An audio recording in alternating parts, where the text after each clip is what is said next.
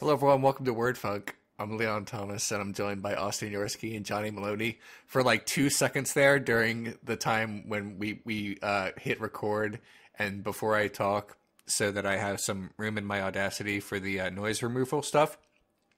For like two solid seconds, I had like a great idea where I would do the Halloween intro again for no reason and just see what happens. Uh, but then I decided uh, better of it because I just I don't know I I I, I don't have that spooky energy uh, in me right now. It's So been you, I do have- you ran the numbers, you crunched that math, and your internal calculus told you that it was funnier to mention you were going to do a thing oh yeah, than to do the thing. How do you figure big that? time, Look, big time. it's oh. it's been a tiring week. Can like can we admit that? Even even as you know, an, a, a foreigner, I I admit it's it's been a tiring week. Like Yeah. I'm If just you- I'm glad it's over. okay. Um, I'm glad it's it- over. There's nothing else to worry about. Yeah, Yeah, that's what she said. Yeah, Austin. If there's no, uh, if it makes you feel any better, I do have some spoopy stuff that's about to happen uh, on this show. I don't know why. I don't really mind when people say corny shit usually, but that that made my skin crawl. I don't know. Maybe I'm just I'm just fatigued by I events. I had a spoopy too, actually. But See, uh, I didn't bother me when he said it. I li- I was charming. But Leon, But let, let us begin with you. Fair enough. Um, okay, so um, I'm not going to talk much about my trip to Los Angeles, but I will talk about the one thing that was pretty good, and that was when I uh, went to um, Universal Studios Hollywood and went on a bunch of rides and had a pretty good time. Um, there's there's basically two kinds of rides at Universal Studios Hollywood.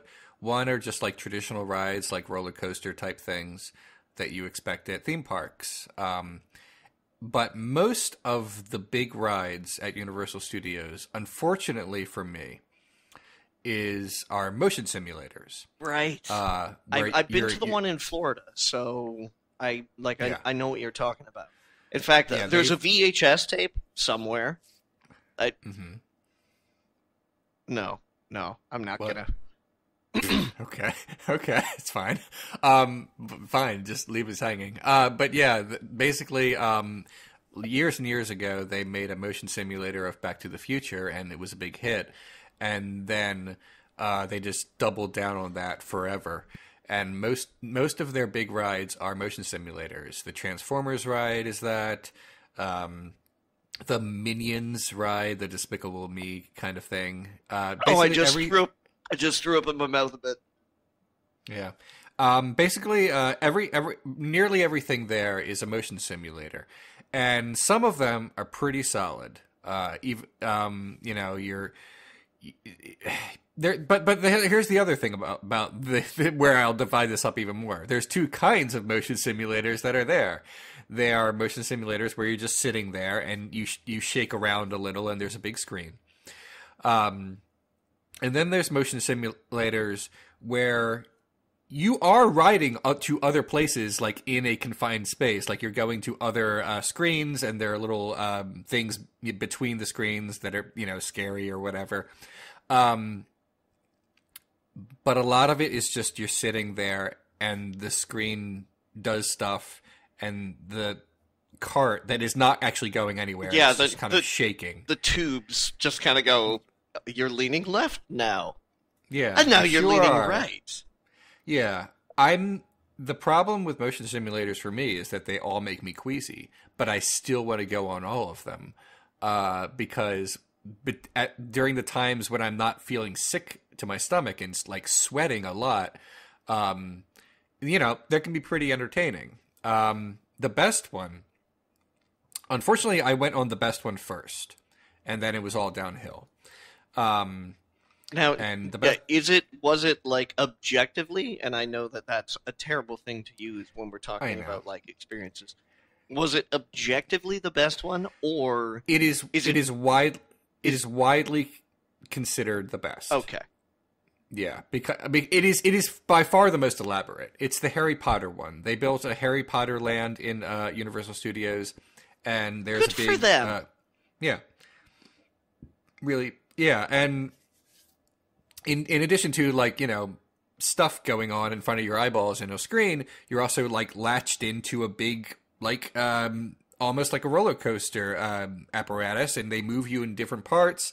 And there are like animatronic things like spiders, and they were scary. Uh, I did I did not like that. There was a whole section, and it was all spiders. it was like I know this isn't real, but I still want to close my eyes a little. Um, but it was good. Uh, they they you know you are genuinely um, being like turned in different directions rather than just like the screen gives you that illusion. Um, and that was all fine. The worst one was the Simpsons ride, and apparently people really like that one, but I, I don't think so. It, it it is one where you're just in a box and there's a screen. But- but that sounds very much just like The Simpsons.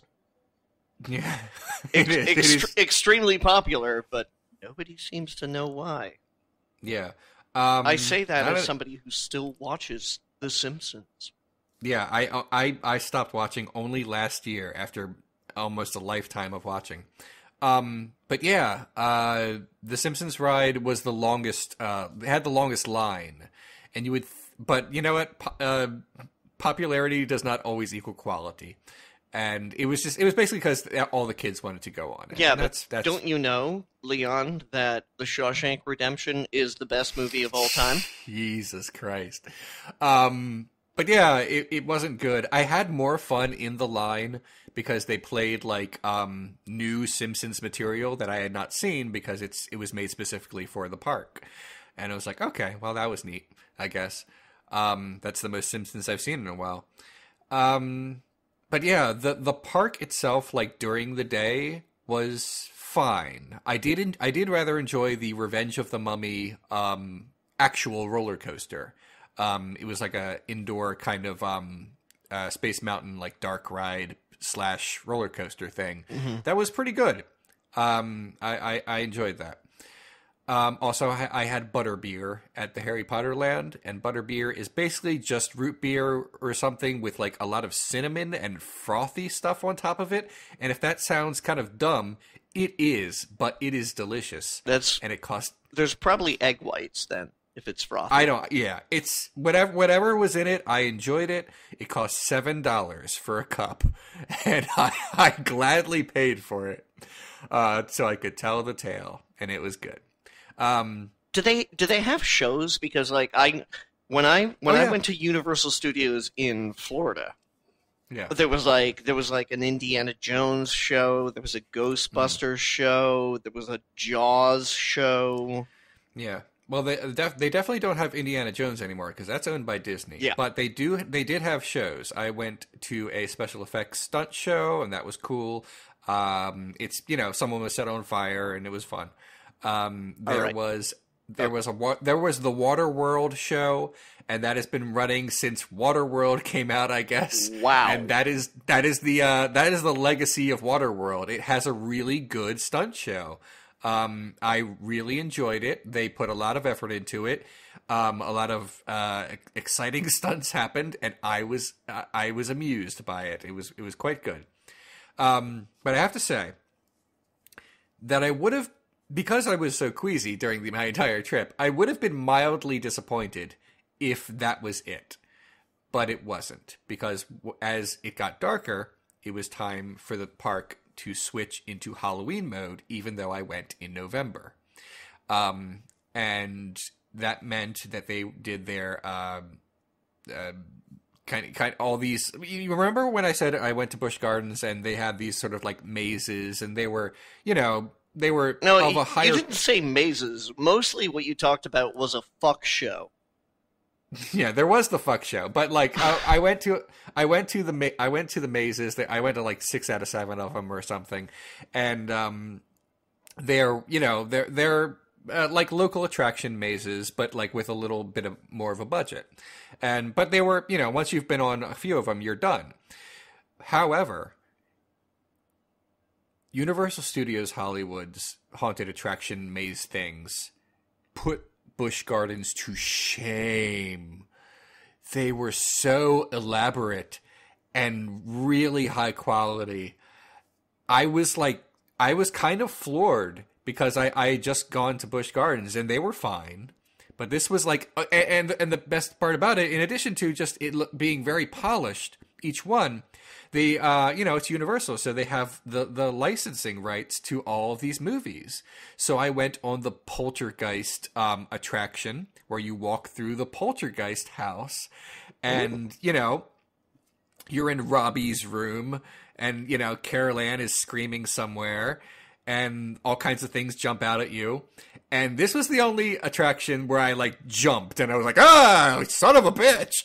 Uh, I, I, had quite a reaction.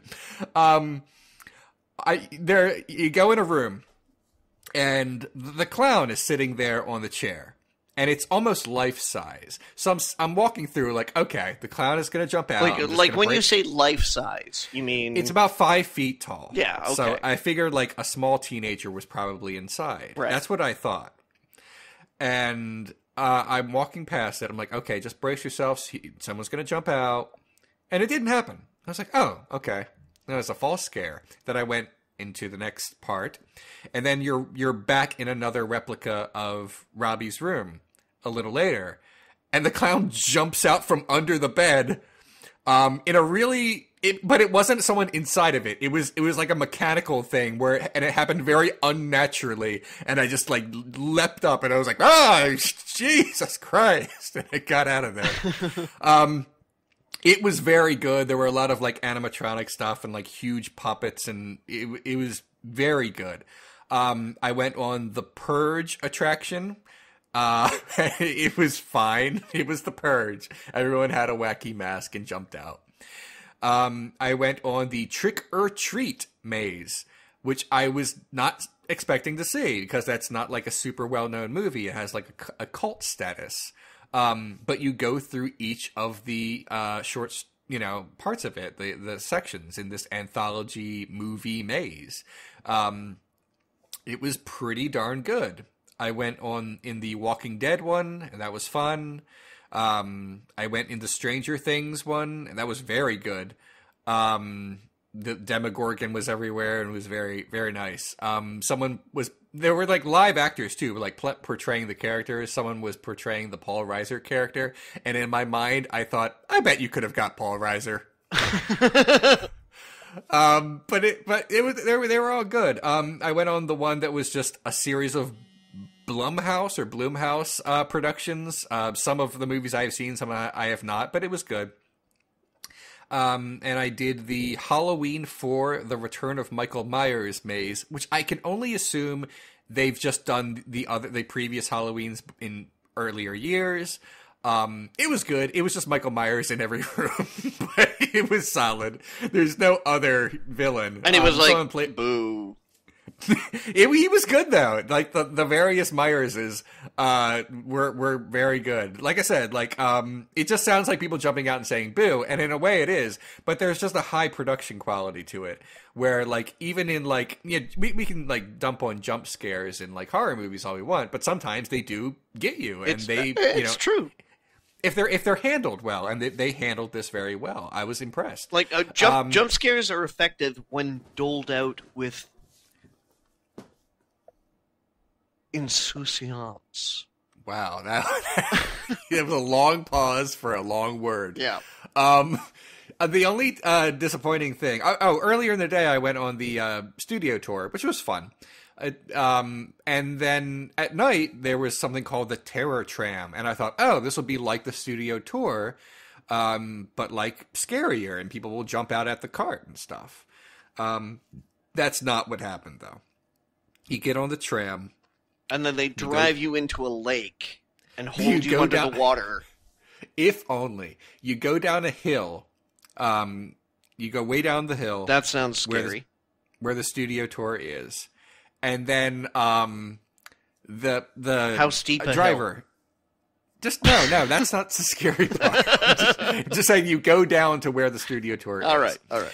And on the uh, the operator, the the driver in the car, who uh, you know talks to you during the regular studio tour says, okay, and now I'm gonna let you off the tram, and you're gonna walk all the way up the hill.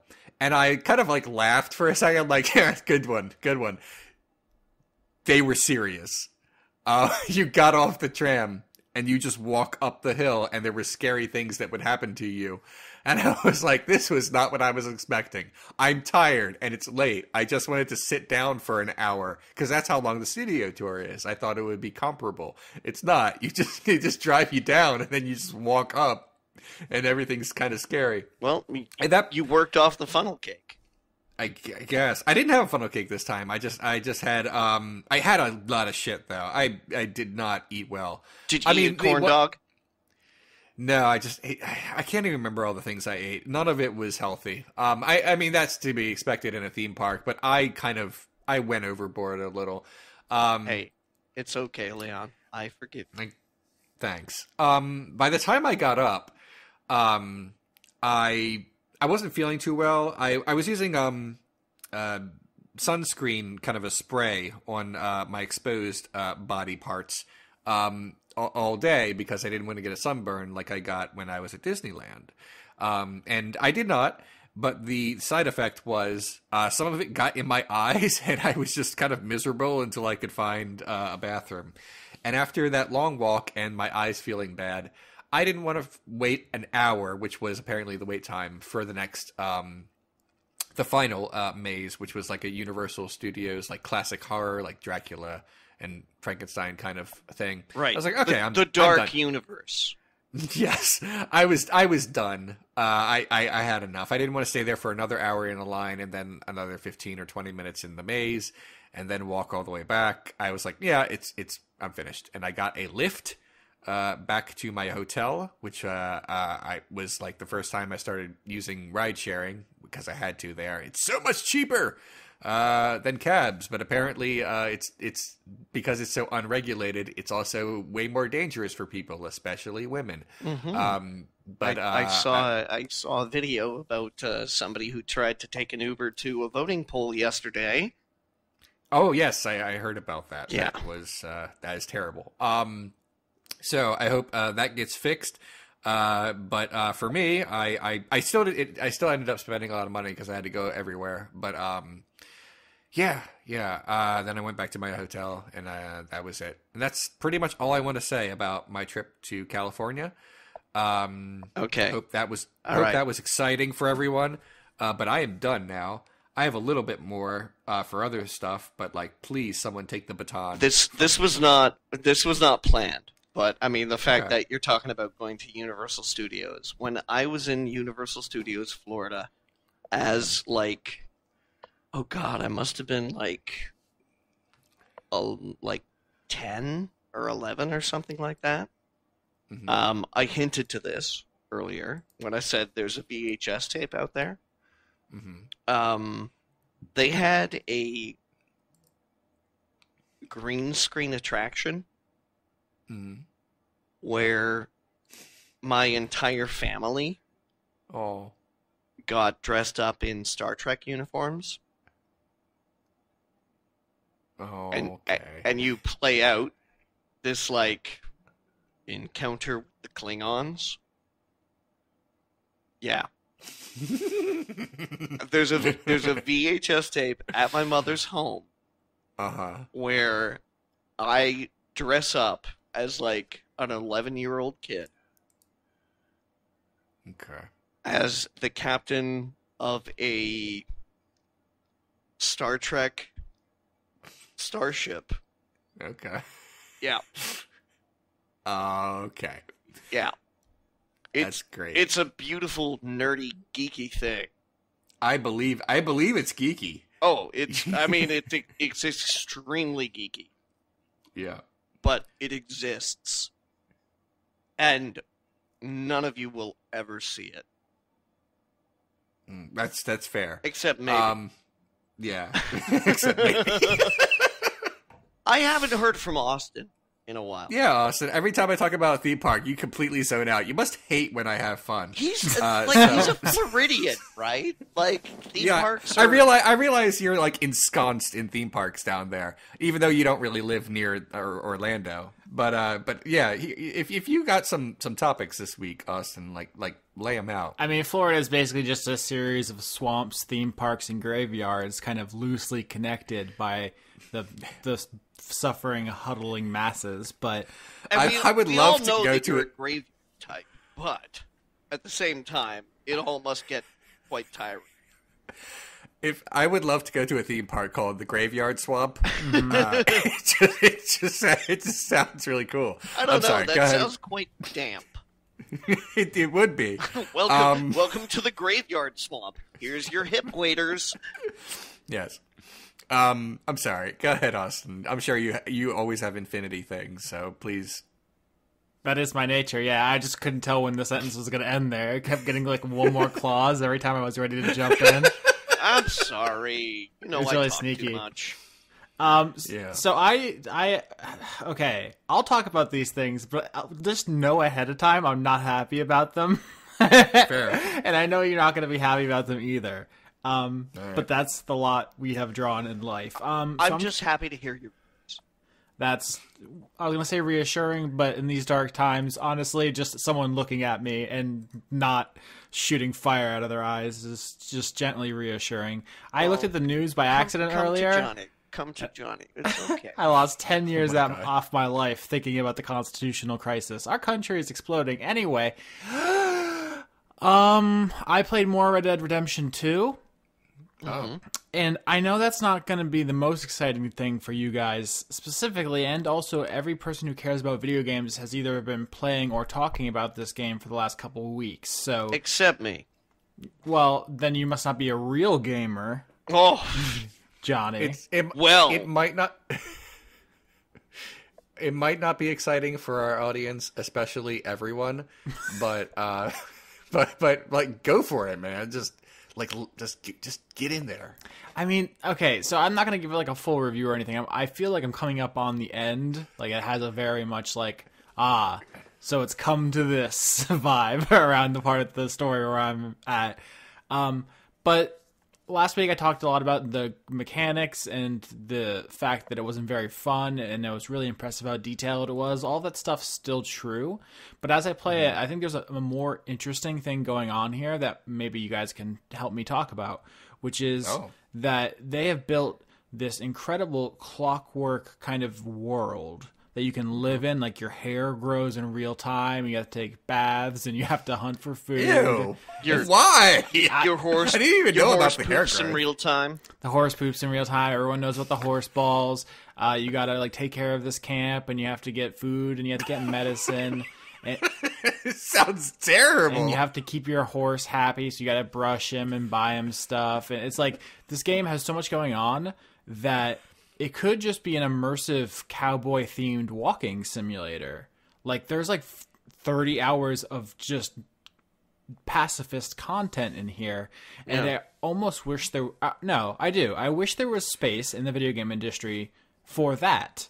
Just someone to make a like hey you want to live in the, the 1890s for like a couple dozen hours? Just like hang out and just like go to saloons go to you can actually go you can just buy a ticket and like go to the theater and like Well- watch people play you can just sit in the audience and watch a performance in real time There, there are like it, it- this is you know there are so many quote unquote simulator games out there. You know, I mean, there's a lot of games that have the word simulator in the title, and usually they're not actually simulators. It's like a, it's like a subgenre of. I mean, this isn't how it started, but it's like a subgenre of YouTuber kind of games now, thanks to things like Goat Simulator and that kind Yeah. of stuff. That, but there, but there are real ones. Like Train Yeah. Simulator is a huge industry, and like the the the the, the trucking simulators, like Oh, yeah. uh, uh, you you know- European Truck Simulator. yeah, yeah, and and uh, American now, which is like drastically expanding. Yeah, I mean, Um, I, I grew up with The Sims and Sim Ant, so I understand the the joy of a simulator, but those are always very abstracted, right? Yeah, And I've been thinking Yeah. about abstraction a lot recently. This came up on the episode of Dice Funk we just recorded, where I was talking about D and D combat, and I was like, when you have two people fight in D and D, it's like you roll, then I roll, then you roll, then I roll. But you realize that they're not just standing in an open field taking turns hitting each other with swords. It represents an epic mythological clash of steel when you imagine in the you know uh, the the Lord of the Rings version of that fight, and that's yeah, what, like every round is supposed to be six seconds or something like that. yeah. I mean that doesn't hold up under really any scrutiny, but I you get No. it. In the same way that, like in a classic JRPG, it's like, all right, I'm going to use uh, attack, and then you're going to use defend, and then I'm going to use magic, and I'm going to use item, and you realize that you're in the fiction, you're supposed to understand that this is happening more fluidly. And Yeah. in I, I I read I read something years ago that talked about HP as not being hit points, but like hero points. Yeah, the un- What? The Uncharted devs actually specifically invoke this, where uh, Nathan Drake, if he's out of cover, people shoot at him and the screen gets dark, but he's not actually getting hit. It's only the last. It's only the, the when he's out of health, quote unquote, that the bullet finally hits him and he dies. Yeah, yeah, exactly. Like so, hero points are kind of this thing where it's like you expend hero points to avoid something that would have hit you. But Yeah. then, like when you get down to zero, somebody finally gets the knife in your ass.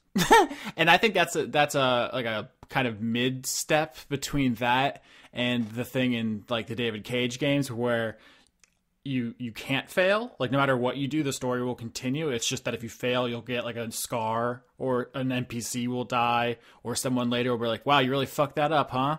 Like or something hilarious happens, yeah, I mean there's I love which the- is which is the case in every David Cage game I've ever played.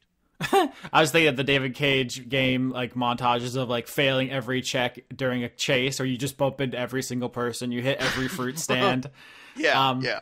But yeah, but video games are obsessed with fail states. Uh, obsessed maybe is a little judgmental. They feel like they have to include them, like that's a fundamental part of what makes a game a game. There's some people who define them that way. I think that's closed minded, but you know, whatever floats your boat. I don't think games need fail states. I think we can be more experimental with that. Anyway, we got a little off track, which was about abstraction, right? We realized that video games are ab- abstractions of kind of fiction, and our minds fill in the blanks. So when someone like changes their weapon and a new sword just appears in their hand, we're not like, "Where'd that come from? This is bullshit. I'm taking this back to GameStop."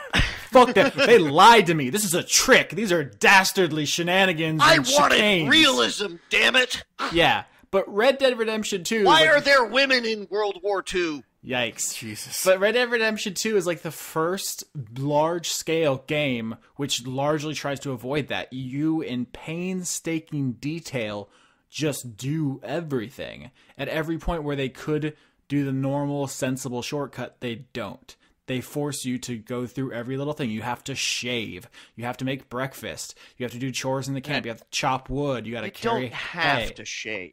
Austin. Yeah, you'll get you'll get like a fucking wild ass facial hair situation, and people will start calling you like a smelly boy if you don't. And Not if you take a bath. Exact words. um, so on one hand, I think this is an admirable amount of uh, kicking the tires on video games and just questioning basic assumptions. Why do we have to do things the way they're done? Just because every Assassin's Creed game does the open world this way, we can we can experiment. We can do something different, and I actually like that. And I think I would I want to live in a world where there are a bunch of kind of big budget walking simulators where it's like, oh, I just want to run around in the 1600s France or whatever, just fuck around. But you can't because Well- the only kind of games that get No, those no. budgets are ones where you kill hundreds and hundreds and hundreds of people. You know, you know that the the newest Assassin's Creeds, I think the last two, have like tourist modes. Yeah. I mean, with mods, you can just like turn off violence or whatever in some games. No, no, like like they're baked into the game at this point in time. O- yes, I- Odyssey yes, I'm aware. and uh, you la- Odyssey and uh, Origins. Origins. Yeah, like you can you can really just be like, I just want to hang out. But those games weren't greenlit for those modes. Those are things they No. added in. Those are essentially just mods. Just like of- official mods. Yeah. Uh, Austin, what what you're describing is the holodeck. Um, you, you just you're just kind of there, and you can kind of make your own fun. And I I, I get what you're saying, um, but if it doesn't really feel real, like in a in like a deep like future VR way, for me personally, I don't need that in my life. And but but, that's but, why but, I played The Exorcist VR.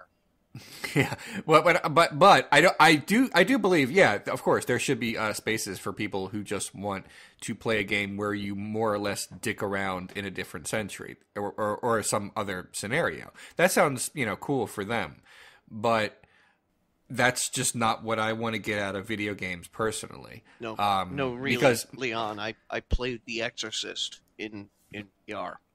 I, I believe you, Johnny, and we can definitely talk about that immediately after uh, I'm done shattering Austin's illusions. Um, no, I'm just kidding. Um, but but I I remain games where- firm and unshattered, but continue. No, you're fine. You're fine. Yeah. Um, in in all in all seriousness, like a game where I do nothing. To I, I there's there's something in my brain where I need to feel productive Yeah. all the time all the time and and and and not just like in a game but like in in the real world if i'm just sitting here and i don't do anything for like a solid 10 minutes like if i'm just like scrolling through my twitter and i just kind of get hypnotized by the nothingness of it. I kind of like feel like shitty for a second. I was like oh i should probably actually do something instead of just sitting here in my underwear um you know looking at things from days ago that i that i do not need to look at I also have the Um, late stage capitalism brainworm, Leon. And that's why I feel the need to differentiate. I'm not talking about just building environments to walk around in. I'm saying a version of Red Dead with all of the pacifist content where you can play poker, you can play Five Finger Fillet, you can play uh, the, the hunting, you can go to a show, you can talk to uh, all the people in your camp, you can. Oh sure. Well, that's well, that's that's well, that's that's different. That's not a walking simulator. That's just a series of games. I mean, like who's, there is who's the- to there, say? There, who's to no, no, no. I, I, no, I'm, I'm not saying that walking simulators are not games. I'm just saying that, like, when you say, "Oh, you can play poker in this game," yeah, there is video poker. That is totally already a game. It's fine. Um, no, I get that. There are hunting games, of course. Um, there, there, the, there can be games where you there are a series of things you can do in the game that are not necessarily violent, but are also like you know uh, engrossing. Yeah, of course. Yeah, Of I just don't think there's a meaningful distinction here because like Journey is a pretty widely accepted accepted like walking simulator, and there's puzzles in that game. It's fine. Mm-hmm. Yeah. I'm saying that Red Red Red Dead Redemption that was harder to say than I thought would be a pretty interesting game if every 10 minutes you didn't have to become the most mass murdering man in all of history. That's fair. Yeah, I mean, I haven't played it, but I, I can. I, I only played Red Red. Uh, Yeah, you're right? It is hard to say. Red Dead Redemption One, uh, but I can. I could probably say that since I did not enjoy that game at all, I would have been fine if there had been literally anything else for me to do besides ride on my horse and shoot people in while on the horse, or I don't know. I don't even remember what I did in that game. Mostly ride around on a Stop. horse and shoot people. Yeah. Yeah, that sounds about right. That sounds right. Occasionally Um, lasso someone. Yeah. Um, Can we just talk about just for a second how hilarious the word lasso is? I've It's pretty good. I've It's- never heard anyone say it like that. It's a pretty Really? it's a pretty funny word. Is it lasso in Canada? Is that how you do it there? Well, how do you, how do you say it? Lasso. Lasso. Fuck you. I did not realize this was a point of contention, and it had never occurred to me that we could disagree on the pronunciation of lasso. But here it's we not, are. It's not. It's not important enough. This is not a hill I need to die on. Me neither, frankly. But still, it's, It's- it's just okay. like I'm almost positive I've seen a cowboy movie where someone has said lasso because because there there's no way that the, my only experience with the word lasso is Johnny saying it right now, um, or, or or other scattered Canadians. Uh, so I don't know. Maybe maybe cowboys do say that. I we're don't know. we're a rare bunch. Yeah, If you're a cowboy, write the show. Um, but yeah, yeah. Anyway, I'm not sure if I have more, more to say about this game I have not played, but yeah, I feel you. I want an in-depth review of the story, Leon, point by point. I bet you could actually probably guess, right? If you were, Uh, okay, all right. Here's what I Yeah. bet. Oh, here's a fun the story. I, here's what I bet Red Dead Redemption Two is about. Uh-huh. Uh, I'm a I'm a guy. I'm definitely a man. absolutely, I'm white, right? absolutely. Yeah, Um, but suntan. I'm kind of here. Here's here's what, what I think my personality is. I bet I bet I'm gruff and tough, but not always mean so that the char- so that there are moments where the character can relate. Uh huh. Of course. Um, I bet that something bad has happened to someone who is close to me, and now I need to rectify this situation because it, it can't be something that's completely internal to myself. Something bad had to happen to someone else, probably a woman, uh, and I need to uh, get shit done and get on my horse and be a real man's man about it. It's like half credit because the story of the game is something bad happened to like your adopted family. It's like a series. It's a series yeah. of those. Yeah. Yeah, yeah. There's not enough. Okay, to, there's yeah. not enough to stretch the the content over just one. I have to protect this person, so I'm going to go kill people. But yeah, it's it's it's a gang. okay. Leon, All right, fair enough. I'd like to Yeah. offer you a job. Um, to write games for Big Games Incorporated, a new company Okay. that I'm starting that makes Uh, big games, incorporating Mm-hmm. certain I, things. I, I bet, I bet my character is like kind of like um moralistic, but also has conflict inside of him. But at the very same time, you can murder so many people, and it will never actually come up in the main storyline that you murdered a lot of people. The game can't seem to decide if he's conflicted because he Mm-hmm. has I bet it's conflicted about his being conflicted. It's very conflicted. Yeah, occasionally he's conflicted, and I actually think that's some of the strongest stuff in there. Like, uh, so you do a lot of murdering, obviously, and a lot of stealing, but there's some interesting stuff in there. One of the things the gang does, uh, one of the things the gang does, I don't know I fucked that up, um, is lend money to people and then go beat them up and get it back. at their loan sharks, basically, and oh, that is Oh, Jesus. essentially legal. But it's it's like the most legal thing they do, right? I, I don't think beating people up to get their money back is up, uh, up and up in that those times, but it's portrayed as like the the one legit thing they try to do, and ev- mm-hmm. eh, those are like side missions you do. And as the game goes on, he seems to get more and more conflicted about doing that stuff. The murdering basically never comes up. He's just like, I'm a bad man. I kill people. It's just the way it is. The world's tough sometimes.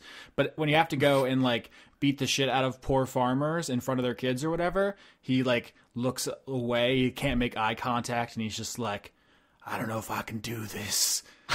but I bet he still does, though, right? Uh, actually, I just got a choice whether or not to keep doing it. Sorry. it's, it's uh, okay. So the game doesn't actually want to say anything about anything. It it just never mind. There's a really this that's a great question, Leon, that you didn't finish making. There's a great scene where somebody is talking to the main character about uh, like uh, the character, the NPC is like uh, of European descent. I think that there might be an immigrant, and he's like, "Oh, back in you know Ireland or whatever." I think it's the Irish character, might have been a British character. They're talking about how back in the old world, uh, things were done this way or that way, and the the protagonist, um, Arthur is his name. Arthur says like, "You know, I was I'm not one for politics. I don't really take sides." Oh, I'm not done. I'm not done. Leon, that's the that's the opening to the scene. And the NPC says back like, "My daddy always used to say, not taking a side is its own side." And then Arthur, the hero, comes back with the the quip to end the conversation, the punchline, the stinger, the winning jab. He says, "Well, I just hate everyone equally."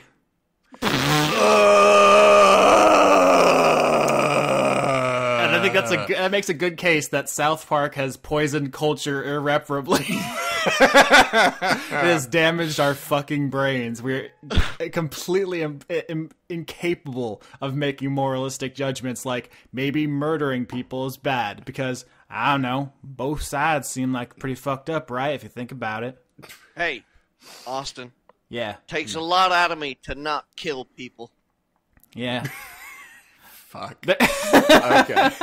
Eh, yeah. Yeah, I, I, I, I, everything you said about this game ma- makes me want to like bury it and salt the earth, and I just like I can't. Yeah. Can we Um, can we just admit that Rockstar Games aims Uh-huh. way too high and doesn't understand what the fuck it's doing?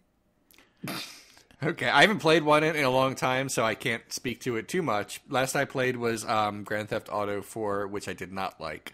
Um, mostly because of just this weird. Um, I know, I know, uh, people are tired of people talking about how uh, ludonarrative dissonance uh, at this point in in the, the year of our Lord 2018. But it's true. But yeah, but the the whole the, the I'm I'm in this. They they do so much to make me feel like I'm in a story, and then do so much to ruin that. That's I I'm- want to doesn't- come to America and That's- be clean. Your That's my mission thesis, is though. to kill 38 guys.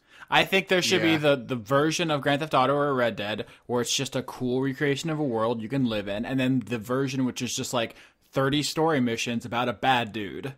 Yeah. I think those are both good products. I would I would Okay. love to like buy that game and have the option of like what do you want to do? I mean, Minecraft has done that. Fucking Minecraft where it's like, "Hey, do you want to play survival mode or just like make shit?" Yeah, I, I think that's more I- and more that- going to be like the future. Fallout 76 is very much like, it's so hard to make single player content. Why don't you just figure it out? Fallout 76. Leon, were you going to cut in there? Oh, I was going to say that's a fair point about Minecraft, but I refuse to say anything positive about that game. No, so. I'm like I'm not praising it or anything like that. It's really Okay. super trippy in VR, but You can't really clickbait the audience inside the podcast. That's not really how this works, Leon. so, that's fair. That's fine. Um, so we're at we're at 40 minutes. We can move on. I I, I could talk more about this game. I think it's an incredibly fascinating thing as a representation of eight years of labor and hundreds of thousands of dollars, maybe more, and you know hundreds and hundreds of people's work. Some undercompensated. It is. You know, for better and worse, a very important video game in history. In the same way that, like, Caligula is an important film in some ways. Uh, that's not a you're not wrong. yeah. And Okay. it's worth it's worth getting into even if I don't think it's great. Uh, Obviously, I'm still of the opinion the combat not great, the story not great. Uh, some of the things it tries are interesting. It mostly fails, and I do love to pet the dogs and horses. yeah. Um, I have I have three other topics, but each one will last like a minute. Do it, do Um, it, do so, it. So just Go, I'm just gonna rip go, through them go. real quick. One is one is just like a dumb story. Um, on the way to Universal Studios Hollywood, um, I saw someone uh, driving a DeLorean, which was the first time I had ever seen like one of them in the wild. Um, they're they're not they're not around so much. Um, and like I, I, you know, I was drive, you know, I was on my way to Universal Studios where they used to have a Back Back to the Future ride, and you would think that in my mind I'd be like, that's neat. That's a neat thing that just happened to me right now on vacation going to a theme park. But what I really thought was, oh fuck off. Oh fuck off with your DeLorean. You're driving a fucking DeLorean down this road. You piece of shit. Uh, that's what I thought. I have no justification for this. I just, I don't know. There's just something, there's something in me that if, if I see anyone doing anything needlessly luxurious, uh, I don't know. There's just something inside uh, my poor brain that I, I find offensive. Um, just wanted everyone to know that. The second thing, I, I I have a great idea for a business. It's called No Baby Airlines. It'll make billions of dollars. uh, it's that's all there is to it. You can have you can have a child on there, but they need to be five years old, and they also need to sign a waiver that promises they will shut the fuck up. Um, I've never I've never been one of those people who was like, oh, leave your baby at home because you know, like you need to take your kids too. You know, I understand that, but I could not deal this time because I was sitting right next to a woman and her I don't know, like three or four year old child, too old to be carrying on like that, who had a temper tantrum that lasted five and a half hours. And the mother, rather than, you know, performing her, you know, due diligence. he almost said stop, duty. where I was- Her patriotic service. Go on. Right, right. Uh, instead of actually, you know, doing something about this, just completely checked out and just let this occur in front of everyone. And people are, you know, people are people, and we're on this enclosed space, and they're not going to throw a fit about this kid, even though we all hate that this is happening to us because it's a child. And what are you going to do? Like lecture a mother while we're like thousands of feet in the air? You know, you, you can't be confrontational on a plane for a lot of reasons. So that w- that that just happened around me. Luckily, I had my headphones on and I listened to things, but it was piercing, and I, you know, it was bad. Um, after the flight, someone unloaded, but not to her face, because again, let's not be shitty to this woman who clearly has a bad life. You know, like how I tell you're miserable, you have children. Must suck. right like um a few rows in front of this woman and myself um as we were getting out. Someone was saying you better shut that kid up too. Something along those lines. It's like it's too late obviously. He just wanted to get his digs in. Yeah, at that point, it's Um, just about being able to look yourself in the mirror later. right. Um on the way back she was also on the return flight but she did not sit next to me. She sat a few rows behind me. Still was an issue with the kid but I was further away enough and my, my headphones were on where I didn't have to experience it very not very much. However, I did sit next to an, another baby, like a, but but but smaller, like a one year old. So well behaved, so cool, like the coolest baby. Just smiled and sucked on a pacifier sometimes, and like played little dumb, you know, games with the mother and, and the father. Um, just just oh it's just such a great baby. Um it almost made me want to rethink my business venture but then i heard a scream and i was on board again. Um so that, that that's what i wanted to say about that. And my last thing is uh i do have something wrestling related to talk about. It won't take long. Um there's a Japanese professional wrestler named Tetsuya Naito, and he's very good. He's very good in the ring, and he also just has a lot of charisma. Um, his whole gimmick is that he doesn't give a shit. Um, his his his catchphrase is tranquilo.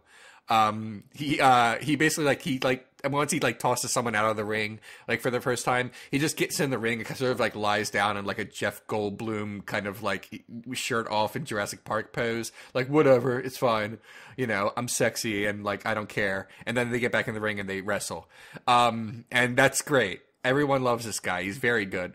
Um, so a few months ago, uh, the word kind of leaked that uh, WWE wanted to pick him up because he he wrestles for New Japan, and you know he he didn't take the offer obviously, but nobody really knew how what went down. But here's what went down: um, a bunch of WWE officials were in Japan. And they sat him down in a restaurant. And he, you know, he was invited, and they, they all sat down to have dinner. And he immediately like refused like he knew he was not going to take this contract.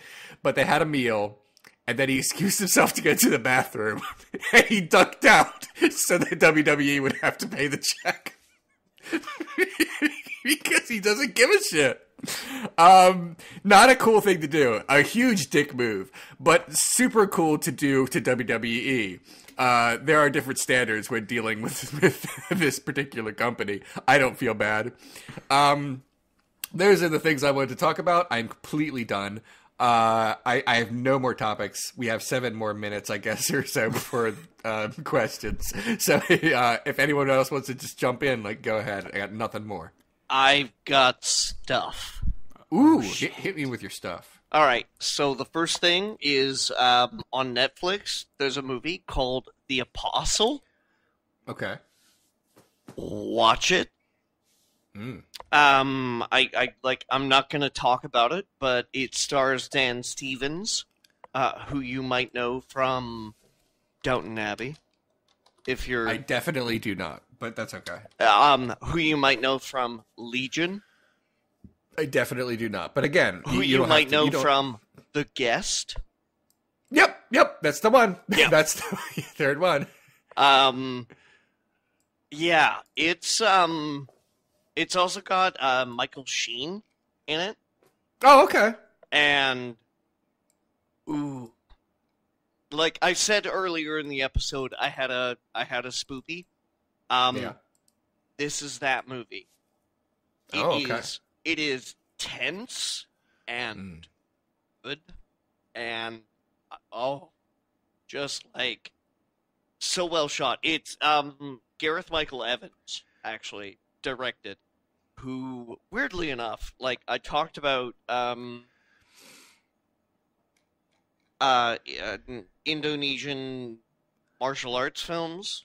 I Yeah. think last week, Mhm. and I said like the Raid Redemption. Yeah, so apparently uh, Gareth Michael Evans directed the Raid Redemption, and this is his new movie, and it's a Netflix exclusive, and it's good. Oh, okay, okay. Um, also, um, like I, I, I don't want to say anything about the movie because it's it's better to be seen. Um, this week killed me on music, like complete. Spencer Krug Moonface came out with a new album. Dan Mangan has a new album. Um, favorite of the show, Chris Keane Yeah. Oh, Uh, okay. uh, has two new albums.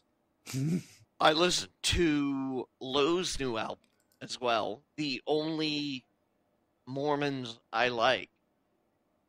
Um, and um, Elias, uh, or sorry, Alias, and and Doseone put out an an album together because I don't know if you you guys know this, but like one of the founders of uh, Anticon Records, um, uh, Brendan Whitney, that's right, uh, um, passed away earlier this year, um, and he made an album with Adam Drucker, um, known as Doseone, who has done video game soundtracks for games like um fuck what is it? Like samurai uh, Samurai Gunn right?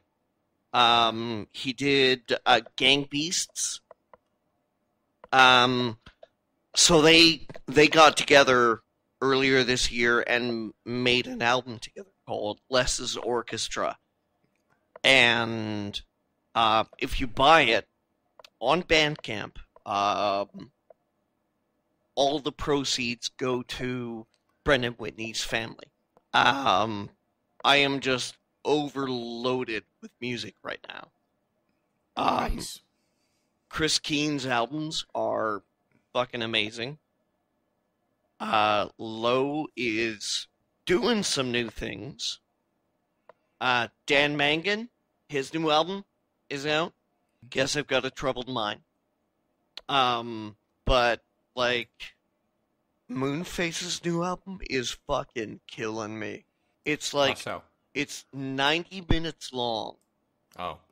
and tells two stories that are intermingled. I just like I I cannot if you go to Bandcamp and look for Moonface, the album is called This One's for the Dancer and this one is for the dancer's bouquet. It kills me. And I like I know I've I've been really vocal uh, in my support about uh, Spencer Krug's uh, Spencer Krug's pardon me um, work in the past, but god damn, like Austin, he does heartbreaking bravery, like the song, Mm-hmm. but like kind of jazzy. it's it's so like it just like nobody I know, no artist I've ever heard remixes his own work like Spencer Krug. It yeah, it, it like fuck. Also, I I watched the first season of Ozark. It's good. Okay. Questions? So- solid review. Um, yeah, yeah, we can do questions. Um, yeah, we're about at question time. I do want to say real quick that um, in Red Dead, I have three horses, and they are named Violet, Skittles, and Unicorn. Boom. So, Aww. My legacy lives on. yeah. Also, I have here written on my note something that should only take a second to talk about, and that there's a new Bubsy game, and our friend wrote it. Yeah, go Dant. How it's just there's so much unpack. It's such a short sentence. There's a new Bubsy game and our friend wrote it. But when you really peel back the layers, it just exposes that this universe is fundamentally absurd. but sometimes in a good way. Johnny, do you want to explain to the audience? Um. Okay. So, um, ex uh blistered thumbs writer and very dear friend of mine who has slept in my bed. That's how I introduce him to people. He slept in Johnny's Yeah. bed, you know. Yeah, yeah, absolutely. Um, um, is working for Choice Provisions. Um, the um the company that does the uh, uh Bit Trip run games. Yeah, they're all the different Bit Trip stuff, formerly known as Gaijin Games. They changed their name Yeah. to Choice Provisions. They also did Woah Dave and Space Dave, I believe. So Yeah, yeah. Um, so apparently somehow they gained the rights to Bubsy, and um, Dance my boy, I assume, and he's like, yeah, I'm gonna make a new Bubsy game. I assume most people know. We should probably just define our terms. Bubsy is a famously horrible game series. Everyone just either unplayable or just Now, infuriating. now hold on. It wasn't. It wasn't so bad in its first iteration. it had fall damage and it was a platformer. I feel like they pretty much signed their own death warrant there. It was it's from a different era when everyone wanted to have a sassy mascot platformer because this was the heyday Yeah. of Sonic the Hedgehog and uh, maybe around the time of Crash Bandicoot. I don't know if it was a little before or a little after, but everyone wanted Before, yeah, I believe. everyone wanted their own Sonic the Hedgehog, and there's just endless graveyards filled with these fucking losers. Bubsy, the, probably the most infamous of them, Bubsy 3D, maybe the most unfinished game ever released to like any mass market, right? Well, now that Steam is basically just an open sewer, I guess we can't say shit like that anymore. Like there was a time when you could pretty much just say like, "Oh, the worst games of all time: E.T. for the Atari and like Bubsy 3D." I guess. Um, now, Yeah, but hang on. yeah, But there was also Bubsy visits the James Turrell retrospective at the Arcane Kids Institute Museum. Yeah, which is a, a surreal, uh, I guess, tribute art piece that's not official Bubsy canon. I feel like there's so many different No, tunnels we no, I'm pretty here. sure it's it's canon. it's canon in that they don't have the license. It was released for free. It's not the same studios. Also, the Arcane Kids did a video game where you can get Sonic pregnant. True. Um, yeah, I, But I mean, is that physically impossible? As he is a fictional character. do people know about Sonic Dreams collection and Bubsy visits the James Turrell retrospective? I feel like people like us Like- are like, oh yeah, I remember that joke from like five years ago. But also, it must be impenetrable to normies. I feel like people should know. Okay. Well, there are some people out there doing some interesting work. Gotta check up on them. Our boy Dance out there, maybe making the first good Bubsy game ever. What? Sick. I'm I'm pulling for you, Dant. In more ways than one. Yeah, that's a cool gig if you can get it because either you succeed and you're the dude who actually made something out of Bubsy, or you fail. And it's like, oh, another bad Bubsy game. Who cares? Like, Welcome to notoriety. yeah, it's not much to lose, everything to gain. Um, all right, I guess it's question times. Um, we d- went this whole episode without really talking about the election, and I feel like there's some questions in here about that. Probably. Do we want them? Uh, I yeah. I guess, but like, what? I mean, we we, we kind of doesn't everyone know how it shook out, or or there, or is there like deeper stuff than that? I, You guys did good. I just saw a generic that- one, like uh, Jennifer Lynn Crone at Jen Crone on Twitter asks thoughts on midterm. Just like the house that. flip, the house flipped, which was what was uh, expected and and hoped for. I think uh, that the Senate did not, which was um, you know that was also expected. You're right. Yeah. They, they also expected that it to stay the same as it was, which is uh, the things. The only th- surprising things about the midterms. Um, were that more uh, governors uh, races flipped than expected um, in in favor of the Democrats, but like like it not not by like a shocking degree. Um, basically, the things that people expect to, did, expected to happen happened. Um, the long shots didn't happen. Uh, like like um, Ted Cruz is still a senator. That was expected. Um, it was it was it was possible. close. Yeah, it was it was close. It was close, but like you know, he was uh, one guy was the underdog, and the underdog lost as they often do because. um, But you got you got like the first uh, Muslim representatives. You got the first Native American representatives. yeah, yeah. So like some cool things happened. Um, so there's that. I'm I'm just not sure what I can add. I guess is what I'm trying to say. Yeah, it's hard to know. Like the kind of people who get paid just to talk about this stuff don't really know what to say. So uh, by the time we I- release this episode, literally so much could have changed. Like t- t- fucking today, Jeff Sessions done did resign. Who knows what the fuck's gonna happen in, in the coming weeks, right? So Jim Acosta is gonna fucking people's elbow Trump. it yeah, it's hard. It's hard to make any kind of predictions at this point. We it was a good, it was a good election, not a great one. We you know gained some ground. Hopefully, we'll gain more. It's the sad part is we gotta We only Do we this every only time. need to gain ground by inches. It is a it is a war of inches. the Like I don't want people to get upset by this. This is the first step in the fight.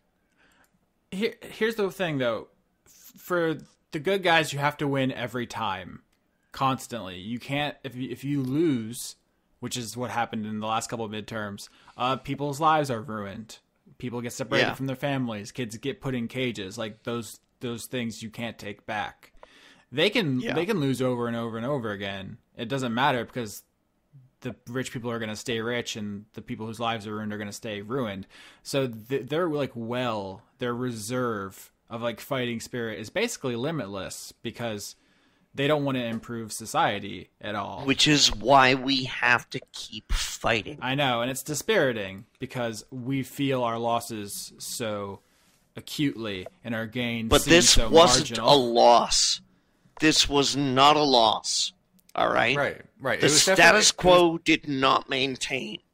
No, no, this was de- this was uh, definitely a win. Um, it, I mean, it seems like really obvious that it was, and yet people will are like flooding Twitter. We're like, yeah, but you barely won, so that means that means you didn't. And the Senate it stayed the same. It's like, yeah, yeah, like all you know, we no, uh, very few people were expecting the Senate to flip. The thing, uh, uh, the things that happened in favor of the Democrats happened, and like these small. Uh, things that happened in favor of the Republicans, you know, did happen. It's like, I mean, I, I, I, I- I don't want to be like shitty about this because, like, I, I'm, I'm a, I'm a registered Democrat, but I'm not like a Democrat in that it, it feels like my party. I basically just registered so I could vote in the primaries, and you know, uh, but uh, what, what I'm trying to say is like when in 2016 when Trump won, I wasn't on Twitter pretending that that like this is actually good for the Democrats. Like like it's ob- this is obviously a bad night for the Democrats. Just as like last night was obviously a bad night for Republicans. Like can can we at least accept reality? We, Oh. we clearly, clearly can't, and it's part of the double Right. standards of uh, I, this entire system. Is if a day goes by where Trump does not shit directly in his own mouth on TV, people are like, "Well, I don't know. It seems pretty stable and presidential now." And if Bernie Sanders doesn't immediately condemn something within seconds of it happening, you're like, he obviously doesn't care. See, he's just in it for himself the whole time. You, f- you fools fell for it. You, it's just Yeah. it's always going to be unfair, and that's the burden of having principles. I guess I uh, I mentioned on Twitter earlier that now that rules no longer apply, uh, the best thing about that is that I'm queen of the universe. Uh, so I just want everyone to know that. Do you really want to put that out there? Because the last time you gave yourself a title, people were extremely into you being the Pope so much that it kind of freaked you out, and you had to ask them to stop. Uh, I'm gonna I'm gonna let this one ru- run itself out, Okay. and then I'll tell people to stop. okay, f- All right. fair enough. Then I'm Emperor of the Multiverse. Oh wow, it's even more. Yeah, it's really ambitious. Uh, n- Yeah. Next question, uh, Cosma Cosma at Merit Ko- Kapoika on Twitter. Sorry about the words. Uh, asks, are attacks on someone's character common in actual real life court? Do they work? So Law Corner. Um, Not only are they common, uh, that's like the, that's the whole thing. Essentially, it's called impeaching a witness. Uh, in fact, you could have someone on video, for example, choking someone to death on on camera phone footage, and they can just get away because the people thought, "Oh, he seems like a nice guy." Uh, character and narrative are the really the only things that matter. Evidence, you don't even need a body to get someone convicted of murder. Literally, that's not an exaggeration. All that you need to do is to convince the jury that this is someone they should convict, and you can do that by telling them a story that they want to accept. This person had this motive, they were here at this time, or by just making their character seem so so shitty that you want to convict them. And this is obviously something that is racially disparate. Um, I, I, you don't need me to explain to you how that works out. Uh, straight white men are often thought of as like, oh, he's a nice guy. Like he's just doing his best out there. Maybe he's troubled. You know, that's the thing you always hear after the mass shootings. Is like, oh, troubled guy, really. Uh, but He was a quiet neighbor. yeah, uh, but if anybody of, of not the higher stratas of society makes a mistake, well, they're just they're a bad person, and the only way they're going to learn is if we, you know, we punish them, and they have to be miserable because they're bad. So, um, sorry to be dis- dis- depressing, but the answer to the question is that's that's the job is attacking someone's character, and in fact, uh, there's an, a bunch of rules of evidence about that.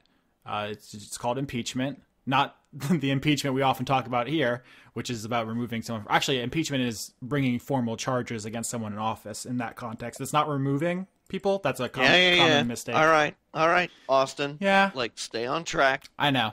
In this context, impeachment is like, oh, you said this, but I have a receipt that actually says you weren't there, or something like that, and you're basically just trying to prove the person's a liar. And in fact, there are parts, there are times which what would be inadmissible evidence can become admissible if it is used to impeach someone's character.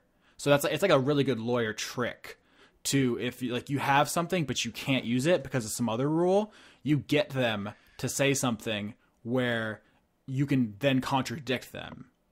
It's because the rules of evidence say that it's more important for the the jury to see that than it is for the other rule to be obeyed. So, So, so do you like me, Austin? all right. Um, this is a whole thing. Yeah, I feel like people have this image of like justice or whatever. They're like, oh, I saw CSI. You have to do a, a bullet recreation, and they put it. Oh, you put it. God. You put it in the program, and it enhances. You enhance a lot, and then you see the image really clearly, and there's the fingerprint. Yeah, it, it happens in 10 minutes. Yeah. What actually usually happens is after two years of you sitting in a jail cell and you lose your job and your family, uh, you eventually go and people just talk shit about you, and you do your best to defend that, but you know you you're emotionally drained, and the other people probably have better lawyers, and then the jury just decides if they like you or believe you or not. So, does that make you guys feel good about things? No, No. but I, I, I, I, I sort of I like, don't I don't feel anything anymore. yeah, I, I don't, I don't really assume that justice works. Uh, You know what's fun is the acting much. attorney general of the United States doesn't believe in Marbury versus Madison, the case that makes courts work. oh, So, like I said earlier, Jeff Sessions, Good luck, motherfuckers! I'm out! Je- Yeah. Jeff Sessions was asked to resign earlier because he has recused himself from Russia stuff, and so in order to obstruct justice, he needs to be moved out of the way.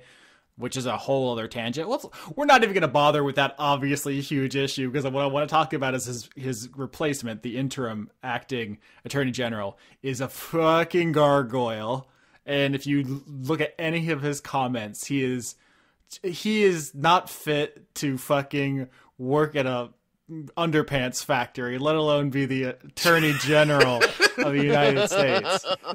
Um, he like all right. No, no- no disrespect to anyone who works in an underpants factory. You, you do, you do important work, and we all appreciate Yeah, it. I'm sure it's a noble Absolutely. profession. I just don't know if you have a great view on the Lochner era of civil litigation, underpants fair.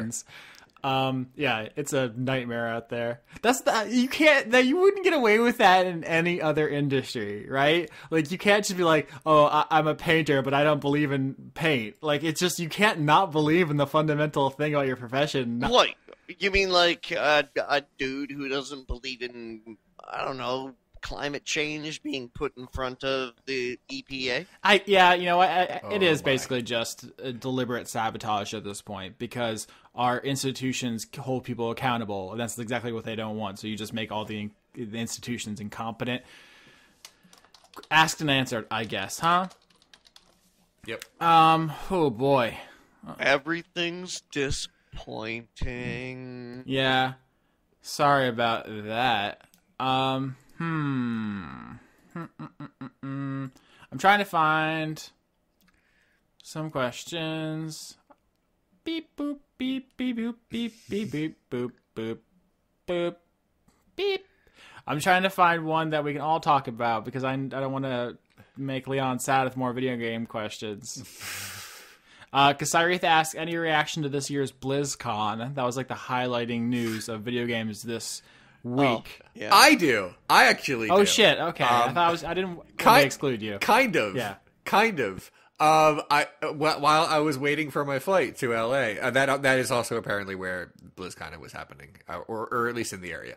Um, I was waiting for my flight to California, and there were some people talking behind me, and they're talking about a convention. I'm like, oh, I wonder if they're going to the same convention I'm going to, and they were not. I would learn later that there's also a gaming convention that was going on near where I was going.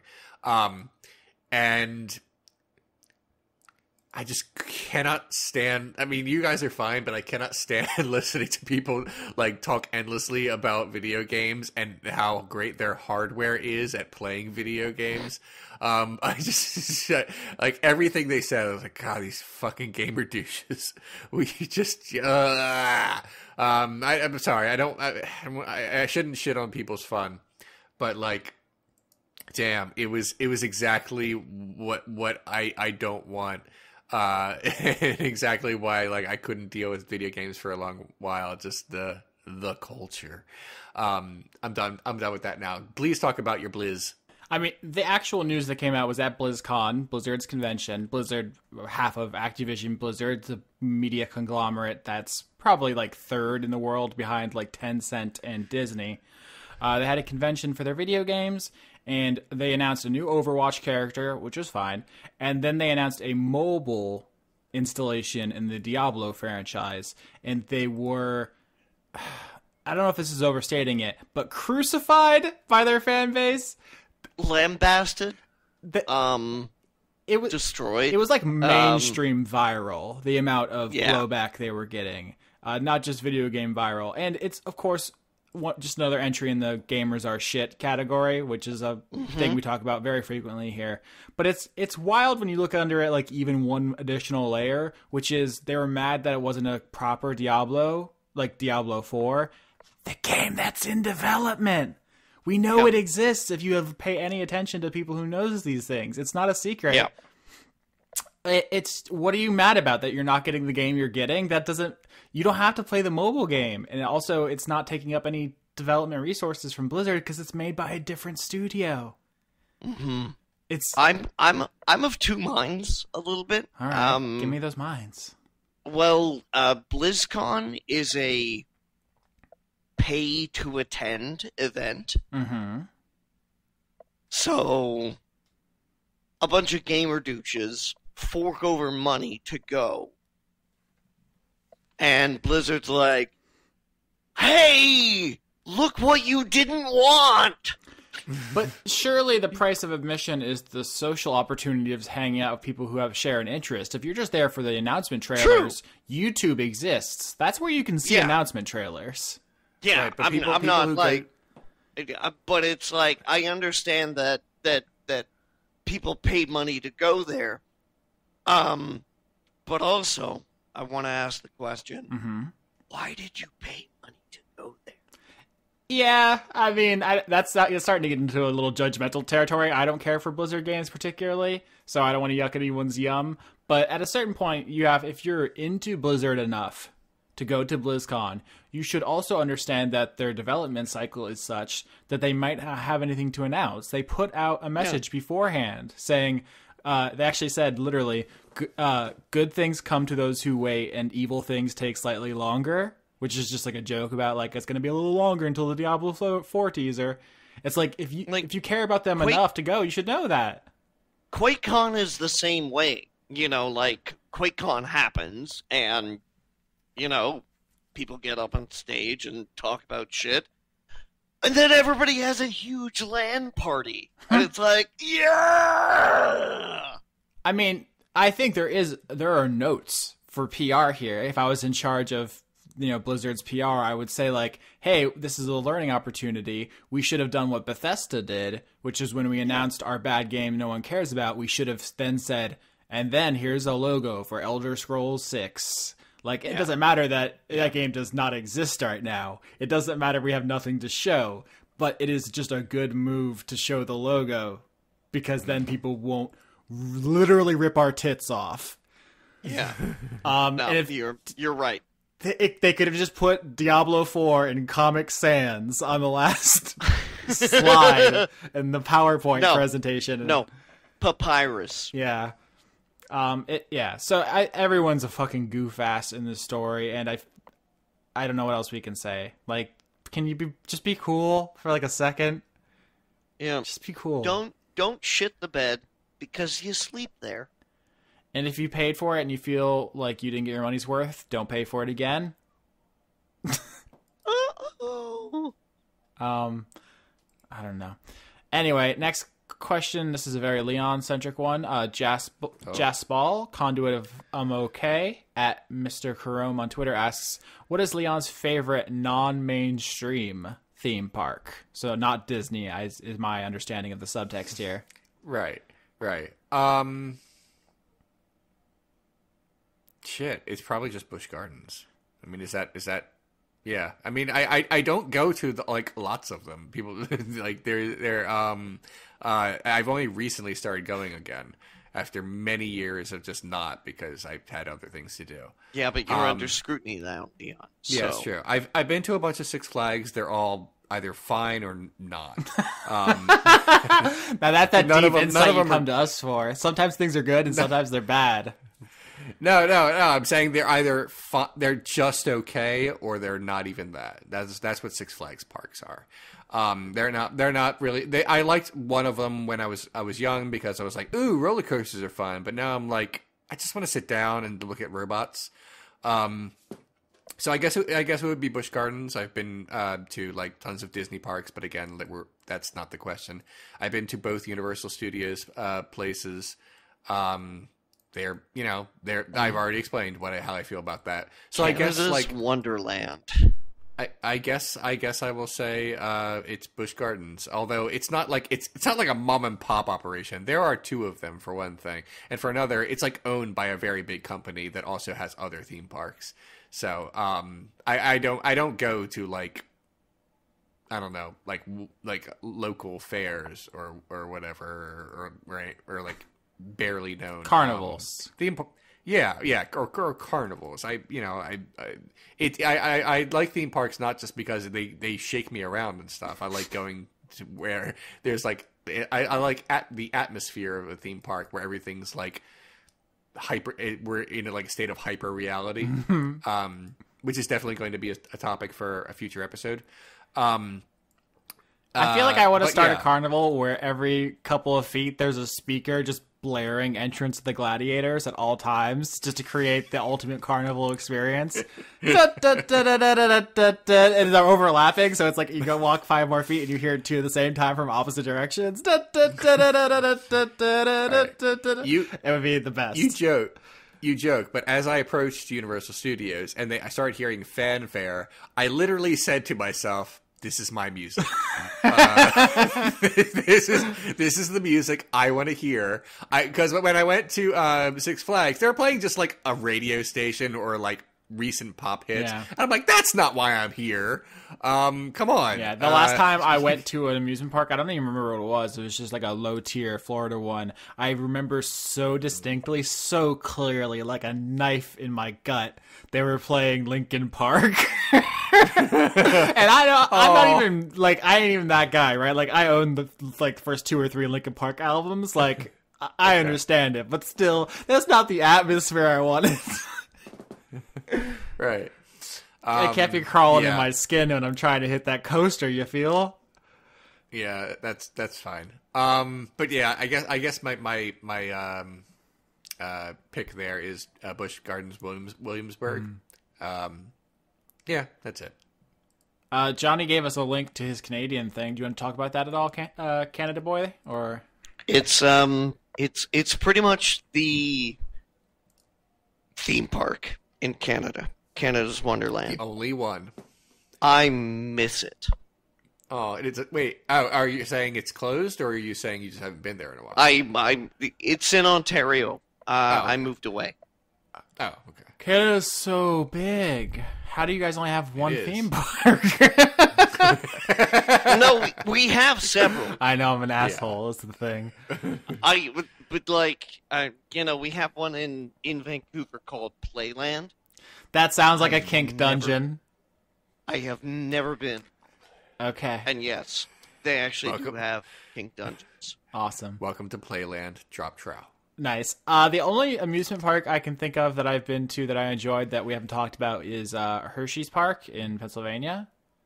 Oh, okay. I've been there as well. which actually came up on my other show. I don't know why or how. I guess because two of the people on the show are were in Pennsylvania at the time, so maybe that's it. But that's a weird thing. I just remember eating a lot of candy because Hershey's. Yeah. And that's Yep. and that's wrong. What? What? What did he say? I said, and that's wrong. Oh, wrong. Okay. Yeah. I I just sounded like oh, that's raw. I was like, what? Raw. That's raw? So raw to Oh, be so candy. raw, man.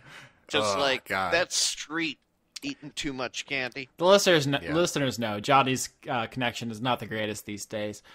Um, Yeah. we're almost out of time. We got a couple questions. I mean, Matthew B. Hare at Matthew B. Hare on Twitter asks Deltarune question mark. Actually, it's Deltarune, Deltarune, Deltarune. That's the new game by Toby Fox of Undertale fame. I mean, No. Del- Those letters sound familiar. yeah, Hard pass. Deltarune is of course an anagram for Undertale. Um, I'm pretending Leon doesn't exist right now. Um, I, I am going to honor Toby Fox's wishes and not talk about it yet. I think he, he just said don't talk about it for like a day or whatever. But I just want to give people time because they're intensely story heavy games that can be Austin, ruined. Austin yeah. this, this this this podcast isn't coming out for a few days. I I recognize that, and I also Yeah, but I haven't played Undertale yet. Oh, I mean I'm the only one on this podcast who has played Undertale, so I I have played Undertale. I just did, I just didn't play at all of Undertale. you played a third I of played up- Undertale. I played up until the game said I could stop. I got him, guys. And I tricked him into I, talking about it again. I, I, I, took, I, I took that out immediately. Um, I didn't hate it. I want that to be clear. I did not hate it, but it, it was it was a very like middling experience for me. And when the game said I could stop, I I felt like I was just gonna like jump out that emergency exit rather than keep going. You're a middling experience. that's fine. Aw, Austin. Uh, don't no, that's fair. Um, that's what people say. nice, got him. Uh, another question here. Kreliamite at Kreliamite on Twitter asks, now that parentheses wrestling is gone, does anybody have opinions on MMA slash UFC? Yeah, I mean, kind Fuck of. yeah, Jo- Johnny. It's not pure enough for Johnny. Um, I, I, I, I watch it sometimes. Um, I used to like watch it consistently, and then I did not, and then I tried to again, and now I do not. Um, every few months, I will just like I don't know, watch a pirate stream of it um, when it's on. I bet if I disguise my voice, no one will know Yeah, it was a great me. filter. Yeah, it is not hard. You literally just you just, Google it. There's like a million people who don't care. Um, so, but yeah, I'm I'm I'm like vaguely curious when there's like a fight with someone I actually care about. But it's rare for me to care about any of these meatheads, so it doesn't happen every day. Um, there are there. I, I shouldn't be rude. Some of them are for sure are perfectly fine gentlemen, and and also ladies. Um, but I I don't know. There's a there's a culture about MMA that is a bit of a turnoff. It's the kind of culture that was um was and in some ways still is in wrestling, but like wrestling has at least in the fan base, but not like uh, has gotten like hip Yeah. on social media about wrestling, whereas MMA, everything I ever ever see about it is just dudes sweating into the. it's just like, oh, hope he hits him even harder this time. It's like, really, all right. Um, It, there- it there- reminds me of porn in a certain way. Just Go in that, on. like, no, that that people don't understand that it's performative. Wrestling or I mean wrestling's very Uh, performative. MMA, Oh, MMA. okay. Like they they don't understand that porn is performative. Like it's not instructive. Right. Like this is this is not how you have sex. this is not how you have a fight. Is it not? I No, don't know no, of course not. it. There are th- there are no points in in a real fight. Um, Oh, I see. th- where, where, where, whereas in, in a in a fight, you're basically just trying to live. Yeah. Um, whereas in, in MMA, um, there's a there's a point system. There are like tons and tons and tons of rules. Um, and thank goodness for that. Um, and all kinds of other stuff. Not to mention like a build up and like a purse. Yeah. Uh, for, But in but there- people people view both of these things, both porn and MMA, as like I should be doing this. oh gosh, don't do either. No, Um, no, like don't. But like the guys who wander around the street with like tap out shirts and caps, and are like, yeah, you know, I'm like I'm I'm an amateur MMA fighter, so like I know what I'm doing, and it's just like, dude, I'm gonna kick you in the nuts. Who would have thought that a theatric v- display of violence would have cultivated a culture of hyper masculinity. just Exactly. So yeah. fuck MMA. Okay, that's fair. Uh, I'm I, I- look. I, I I watch it occasionally. I'm absolutely not going to stand for it. So like like you could you could you can say all the shit you want. It's fine. Um, yeah. yeah. Um, in a real fight, I would definitely just kick someone in the between the Oh. legs and run. I thought you were gonna say in a real fight I would just die. no, I mean if if it got if it came to that, I definitely would. Um, but yeah, just the shock of being in a fight kills you. yeah. I don't I don't want to. I've I've I've been like aggressive to people a, a few times in the past few years. Um, not like you know as uh, for not because of like I'm mad at someone, but because someone was aggressive to me first. Um, but in no in no point during any of those moments where m- my voice was raised was I thinking, I sure hope this turns violent. Uh, that, that, that is not a thing. Yeah. uh, I mean, it's, for it's me. funny because I tried to watch UFC, or, or maybe I don't know if it was UFC specifically, but MMA stuff. Like in high school, when I was like at the height of my jock phase, and I, I mean, I, I've said before, I just enjoy fighting. I think it's a fun thing to do. I thought I'd be into it, and I just wasn't. Yeah. And I think part of it is that it it's neither real fighting where the, there's so much drama. If you've ever actually seen like real violence, Yeah. like it. Yeah. There's just this sudden finality to it. There's it's uncanny and uh, uh, repulsive, and it doesn't quite have that, but it also doesn't have the magic circle, which is what you know. The you know, do you guys know about this? The concept of like in game design, where it's like, oh, we're all agreeing to this arbitrary kind of thing. Like football, it's like I'm gonna stand here Yeah. to the right time, and then I throw the ball, and then Yeah. we agree to go back to the line. It's it's not quite that. It's just two people fighting, and you can Like I, I yeah. I feel like boxing has the magic circle. It it's yeah, it's more it's more regimented. It's it's it's blurry. Exactly. Like there's a there there's a rule set and guys go into the ring and they're like, "Okay, so here's the rules. We're not like right. fighting." Well, Well, this in, is in sport. Not saying that MMA Yeah, doesn't have I- rules. It does. They're just different. so many rules. It- Yeah, it it does, but like, but they masquerade it as ultimate fighting. Yeah, they they, they definitely it's definitely dressed up to feel like a blood sport, even though they are in fact just two people who are trying to make a dollar. Um, yeah, and I I know this to be true because they've never changed as as long as I've watched. Uh, and again, I don't watch very often anymore. But as long as I've watched, the um, intro music to um, the pay per views is just you know what, Austin? It's the kind of music you listened to the last time you were at a theme park. Uh, it's just, it's just, it's just, just hyper aggressive, screamy. Uh, I, I can't remember the name of the song, but it, it's the same song every single time, and it's just so loud, and it's like, yeah, these people are just gonna murder each other. It's like, dude, like half the time, it's just they don't, they don't care, even care who's across the cage from them, and the the other half of the time, they say that they care, but really it's just hype. yeah. Occasionally there occasionally there is a legitimate grievance between them. Uh, that does happen in real life. Uh, Conor McGregor was literally arrested for for attacking the bus of his opponent. And then after the fight, when you would think when usually what happens after a fight is even when they have like bad blood, um, they usually say, "Look, everything's cool now." I was like, "Oh, okay, so you, you were all lying to me. Yeah. this, this feels so phony." But at the end of that fight, um, the guy who was not Conor McGregor lost his shit and started legitimately punching people who were not MMA fighter, fighters, uh, like trainers, um, and that was weird uh, to watch and made me feel uncomfortable. Um, Yeah, some of the best stuff about sports is the way in which it feels like an organic narrative. Like teams have existed for centuries. It's like, oh man, these guys go back, and like, no, they don't. None of the people were on this team back then, Yeah. and they're they're not going to be in the Guess future. what? That dude who just scored on you, um, guess what? He was on your team last year. Yeah, like nobody's actually tied to the geography. Like the Chicago Bears have nothing to do with Chicago inherently, and it's like the team that they are now isn't actually going to have any effect on the team in hundred years, or whatever. But it feels like it does, and you have all these narratives. It's like, oh, uh, he's you know he's having a real bad year. Is this when he pulls it out, or it's like, oh, he's coming back off an injury? Does he is he you know have the guts to come back?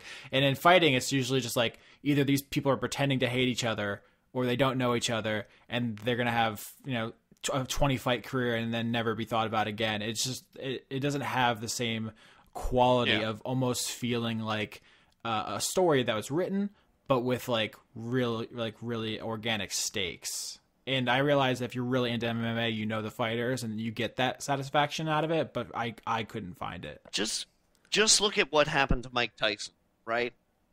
He was a huge name, completely and utterly owned by his managers. Hmm, uh, didn't yeah. fucking understand the world. I mean, just Did some fucked up shit. I mean, the business and the corruption and stuff. That's, I mean, my understanding. I'm not an expert. My understanding is that's kind of what killed boxing, which used to be like America's sport for a while there. Yeah. And it's just like, oh, these are all you know fake or thrown, or nobody's making any real money, and it's all just backbiting political nonsense. And that's actually it's kind of what's killing baseball, that and steroids. But so Yeah. anyway, It's also uh, back back to UFC. Uh, another reason um, it's like uncomfortable to watch is just the fact that Dana White, the the uh, president or, or, or the face of the company, is just the hugest Trump supporter. Um, he's, he's he spoke at the Republican National Convention when when Trump was nominated. Um, Once again, it's a weird that there's this overlap between WWE, UFC, masculinity, Trump. There's like almost some kind of common ground. I, ju- I just I can't find the link though. It's unpleasant. It's, It's just- unpleasant. Yeah, I'm. Uh, I am considering watching uh, wrestling again, but mostly um, Lucha Underground, which I, I hear is good, and just also watching the occasional New, J- New Japan show. Um, I just, uh, I, I think I just need, think I need a break. Um, I guess it's, we o- should stop. it's okay. Yeah, we should stop because we've gone on a while, and I'm hungry. Uh, Nice. So, So those am are good I. reasons. Yeah, it's- yeah. Um, all right. Anything you guys want to say right before we go? Hmm. Yeehaw! Oh, pff, I'll take it. He'll take it. really? All right. I, I could I could do more, Leon, but I was trying to give you an easy out. You could just make me look like a fucking lame ass, and then you win because you edited out my entire I'm- Undertale thing. You son of a bitch. I definitely did not edit out your Undertale Okay. thing. I went my comments about Undertale and how middling it is to be part of the conversation. So uh, Eat a burrito. I, I might. Smooth ass bitch.